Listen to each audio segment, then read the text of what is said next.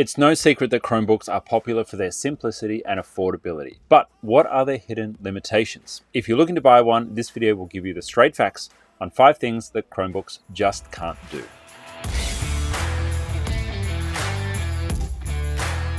Let's start with the most basic, and that is software installation. Now, if you're new to the Chrome world, a Chromebook is an amazing device, but it doesn't run Windows and it doesn't run Mac OS. It runs Chrome OS, which is a completely different operating system that you may be used to using. It means that you can't install Adobe Photoshop, you can't install Microsoft Outlook, you just basically get a Chrome browser. And although you can install some web apps that will run and you can use remote desktop to connect to another machine that may be running other apps, locally on the machine, you're stuck to Chrome, which means you're pretty much stuck with using online applications cloud or browser based applications. Instead of using Adobe Photoshop, you might need to use Canva. Instead of using MYOB accounting software on the desktop, if it still exists on the desktop, you might have to use Xero.com online in the browser. Certain software that needs to be installed on an operating system like Mac or Windows is just not available on Chrome. Now, the impact here is that you're going to miss out on some of those apps potentially, but either you may be able to find workarounds or you might be able to use in some instances a different computer if you absolutely have to. Or in the third case which many businesses do if you have a fleet of machines and every now and again someone needs to do just one thing on a windows machine people will often set up a remote desktop application server and you can dial in from a chromebox or chromebook anywhere and access that app from on the go. As much as possible, as we transition into a fully cloud operating system and a fully cloud way of doing business where all of our apps are living in the browser, you, for the most part, should be able to get away with using a Chrome device. Or if you can't find the app to work online, sometimes you'll be able to find an app in the Google Play Store, which the Chrome device does support. And that means if you can install an application on the Google Play Store as an Android app, well, you might be able to get done what you need to get done. It's not an amazing experience, but it can help in times when you're stuck. If you're super nerdy, you can also install a Linux environment, which gives you pretty much full control to install whatever apps you like, but it does require some command line experience and you know, getting your hands a little bit dirtier in the back end of a machine, which for most business owners is not really the kind of thing they want to do. Next up, let's talk about offline. And this is one of the key criticisms of Chrome machines. Now, yes, you can get plenty done on a Chrome machine. You get the Chrome browser, you can access things online. You can also work with files. If you plug in a USB stick, you'll be able to open PDFs and media files, and you'll be able to do everything you would normally do. Listen to music via Bluetooth if you want, connect to Wi Fi, connect to Ethernet. All of those options are available on a Chromebook. However, considering that most of your work is probably going to be done in the browser these days, you are heavily reliant on an internet connection for most tasks when it comes with a Chromebook. Now, that means that without an internet connection, you're going to be fairly limited in what you can get done. It means that if you happen to be offline, maybe on a flight or in an area or a cafe where you just can't connect to the internet, well, you're going to potentially be stuck, unable to edit that social media post in Canva or unable to reconcile those accounts in Xero. Now, there are some options that are available to you. If you're using Gmail for your email, which I assume you would be if you're considering Chrome, you can switch on offline mode, which gives you access to the last 90 days of email offline. You can read, respond, you can reply, you can compose new emails, and that gives you the option to stay connected. And as soon as you connect back to the internet, all your emails are sent and you're resynchronized again.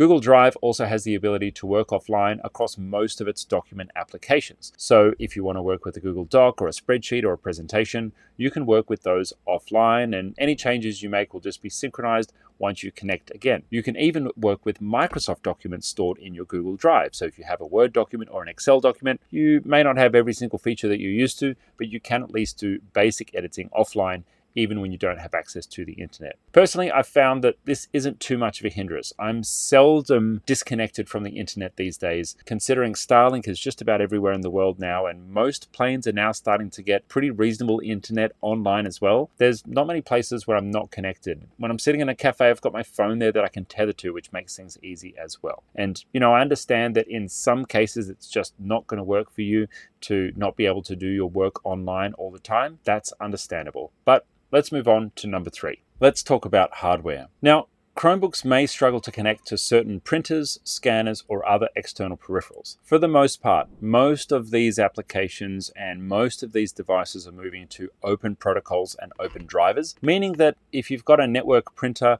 you can probably connect to it okay. But if you're doing scanning or maybe another external peripheral like a specialized label printer, and it requires a particular kind of software to be installed to operate that machine, well, that's where you may run into issues because most of those softwares are designed for either Apple OS or they're designed for Windows, and you're not going to be able to install them on a Chrome device.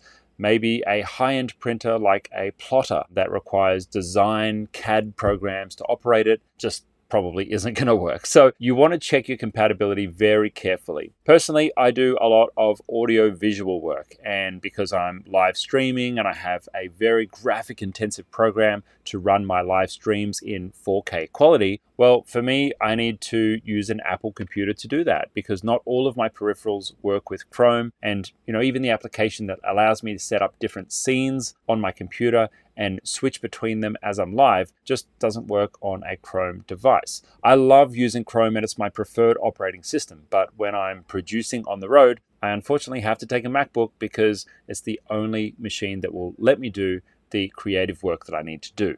The bottom line here is that some specialized use cases are just not going to be workable with Chrome. It doesn't mean that your team might not be able to use Chrome. It doesn't mean it might not be a great machine for someone who's working primarily online and in the cloud, but it does mean that there are some challenges. Now, there are some workarounds. You can use cloud based printing solutions if it's a printer that doesn't work. Maybe you've got another computer in the office that runs Windows or Mac and they can share the printer to your Chrome device. That's a little bit of a workaround, but for some people that will work. Check the compatibility before purchasing purchasing. Or you can potentially add peripherals like maybe a USB dongle that will help get things working for you. Number four is gaming, and Chrome are not really that great when it comes to gaming, especially if anything is high end graphic intensive. Chrome devices are known to have pretty basic graphics hardware because they're not really designed for games. You can stream to them if you wish, but honestly, most of the gaming world, in terms of like games that you install on your computer and play, are unavailable to Chrome. If you're working on the web and you're playing a purely browser based online game, as long as you've got enough RAM in your Chromebook, it's probably going to run okay. Of course, you need a decent internet connection, but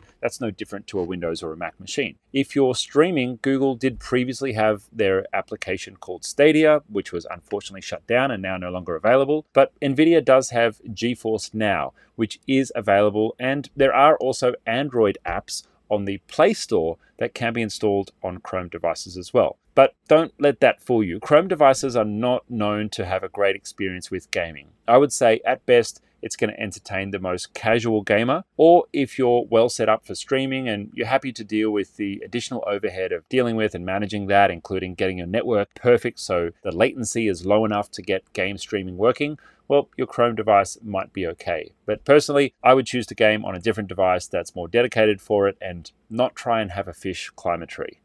Number five is limited customization, and Chromebooks really offer fewer options for customizing hardware and for upgrading the machines yourself. Most Chrome devices are in the laptop format, that's Chromebooks. You can buy Chrome boxes, and Chrome boxes typically do allow you to update either the hard drive size, if it's got internal memory, or a dedicated hard drive, and they do tend to allow you to upgrade the RAM, so you can add more memory to it as well. But in most of the laptops, many of them these days are now just hardwired and hard soldered in to the actual circuitry. It means that you are not user serviceable in RAM. You can't update to additional RAM on the machine, which kind of sucks. It means if you want to do something resource intensive like, you know, video editing, 3D rendering, that's just not available at all because you can't upgrade the graphics card and the RAM, in some cases, is not upgradable at all. If you are a power user, if you're an executive or you're someone who does a lot of multitasking and you've got a lot of tabs open at the same time, RAM can run out pretty quickly on a Chrome device, even though they are much more efficient than using a Windows or a Mac device. And so my recommendation recommendation would be, if you can, to specify more RAM on the machines that you purchase if you're purchasing a Chrome machine. Otherwise, you're going to have a bad time. Now, consider cloud based solutions for as many of the applications that you're working with as possible because web tools are going to use less resources on your local machine. Or opt for a different device potentially if you absolutely must do a task